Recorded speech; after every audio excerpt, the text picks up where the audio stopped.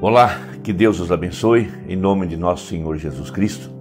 Estamos trabalhando juntos para encontrar o último eleito, a fim de que o arrebatamento da igreja seja muito breve.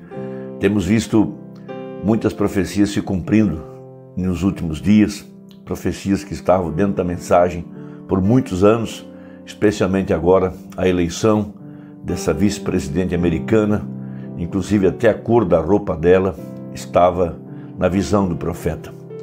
Então vemos o mundo submergido agora nessa pandemia e as pessoas estão usando máscaras. Isso não está sendo eficiente, estão usando asepsia nas mãos, isso também não é eficiente. Estão se isolando, isso também não é suficiente. Porque tudo isso está sendo causado porque o homem rejeitou a misericórdia, rejeitou a palavra e quando a mensagem é rejeitada, então Deus, Deus deixa cair uma praga temporária, como disse o profeta. E a vacina contra o pecado é o arrependimento e a fé no sangue de Jesus Cristo. Não é uma vacina científica que vai curar o homem. A vacina é o arrependimento, é a, a fé genuína no sangue de Jesus Cristo mediante uma confissão sincera. E nós estamos vivendo os, os dias finais, aonde falsos ungidos, falsos profetas têm se levantado para invalidar a palavra de Deus, como Janes e Jambres enfrentaram a Moisés. E eles estavam personificando os dons que Moisés tinha, e com essa personificação eles estavam então quebrando a fé das pessoas, a fé no verdadeiro homem de Deus, no profeta do dia que era Moisés, e com isso estava enganando o povo. Mas a Bíblia fala que essas profecias se cumpririam aqui no tempo do fim da mesma forma. Por isso, Mateus 24, verso 24 diz que, se possível fora, enganariam até os eleitos.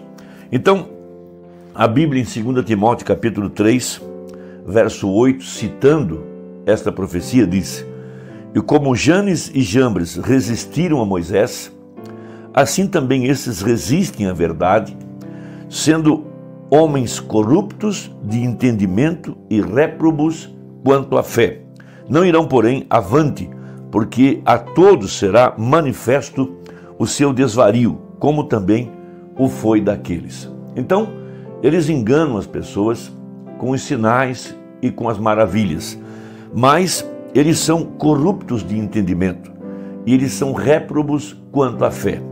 A única forma de conhecer um falso profeta e um falso ungido é com respeito ao ensino que ele traz, um ensino que não é que não é, combina com a Bíblia, que é contrário à palavra, porque a palavra de Deus ela não pode ser entendida por teologia, por explicações filosóficas, ela tem que ser revelada.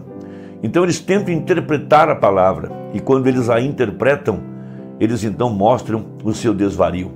Eles não podem entender a palavra para o dia, eles só podem aprender aquilo que eles leem nos livros do que foi e do que será. Mas eles não podem entender a palavra para a hora que eles estão vivendo. Como disse Jesus, aonde estiver o corpo, ali se juntarão as águias. A águia come o maná do dia, a carne fresca, o alimento espiritual em seu devido tempo. Quando aquela estação passa, quando Deus já está caminhando, quando Deus está indo na frente já, já é uma outra estação, já é um outro maná. Então chegam eles para se alimentar daquilo que já foi, daquilo que já está apodrecido, daquilo que não tem mais validade. Então eles enganam o povo com sinais, com as suas maravilhas, porque Janes e Jambres, eles puderam fazer uma certa quantidade de sinais que Moisés fez, mas eles não tinham uma voz por trás do sinal, não havia mensagem não havia alimento, não havia palavra, não havia revelação para a hora. Eles podiam se alimentar de algumas doutrinas fundamentais, mas não podiam ver a revelação da palavra manifestada naquela hora. Eles não puderam ver que Moisés era Deus, que ali estava a palavra velada em pele humana, que atrás daquele véu que Moisés colocou estava a santidade de Deus, ele estava velado. Então isso mostra que Deus sempre se velou atrás de peles. E aqui no tempo do fim seria a mesma coisa. Esses falsos ungidos, eles se, se, se vangloriam dos sinais, das maravilhas, dos dons, dos resultados de suas campanhas, porque pessoas gritaram, porque pessoas bateram palmas, porque pessoas foram curadas e assim por diante. Mas quando eles vão ensinar a palavra, eles não podem ter, eles não, eles não, não têm fé, porque fé é a revelação na mensagem do dia. Eles são corruptos de entendimento. Veja, eles estão corrompidos por poder, corrompidos por fama e corrompidos por dinheiro e até mesmo por mulheres.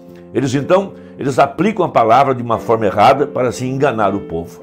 Mas tudo isso é profético, estava aqui no tempo do fim. Mas então o eleito, cheio do Espírito Santo, cheio do poder vivificador, ele está apto para discernir esses espíritos e não ser enganado por esse tipo de mensagem. Então, a profecia para a hora que nós estamos vivendo, a manifestação do Filho do Homem, veja, Jesus Cristo atrás de peles humanas, veja, esse é o alimento espiritual.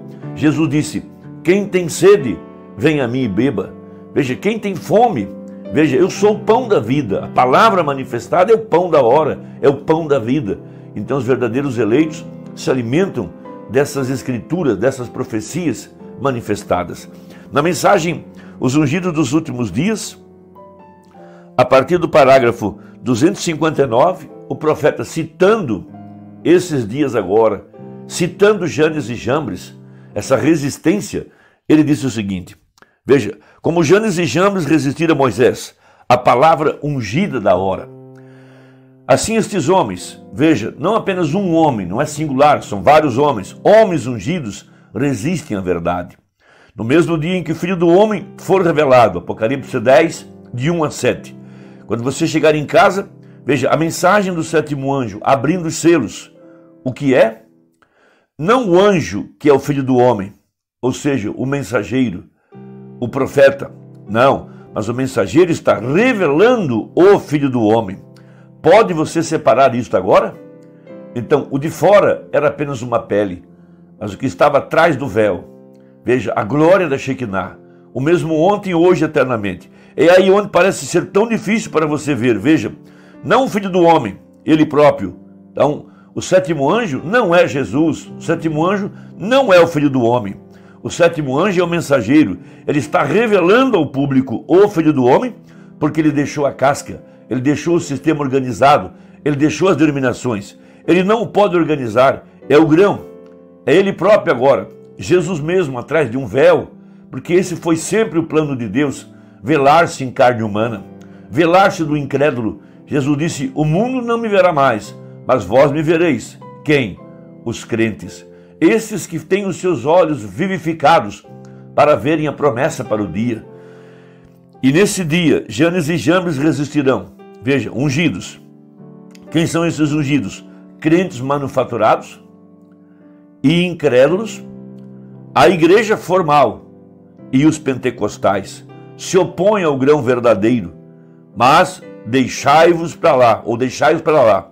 Sua insensatez se tornará manifesta como foi a deles. Bem, 261.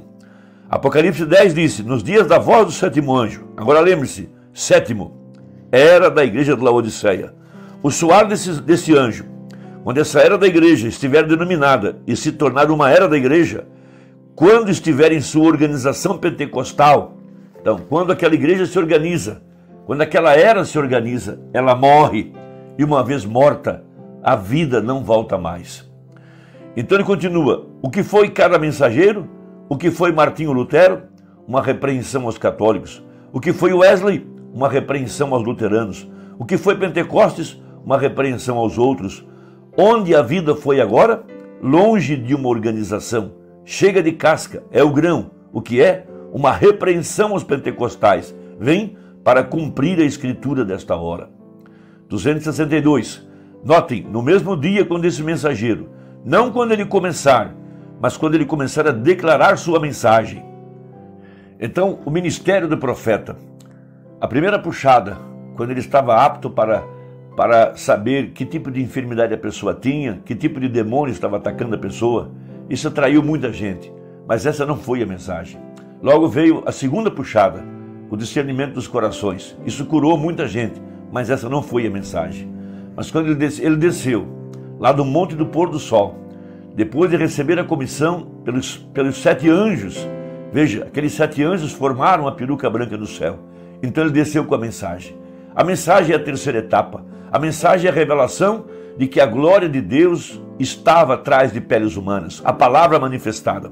Então veja, a primeira puxada foi a cura, a segunda puxada a profecia, terceira puxada a abertura da palavra, os mistérios revelados, não mais, veja, não há ordem mais superior para revelar a palavra do que profetas. Mas a única maneira do profeta poder ser vindicado é pela palavra.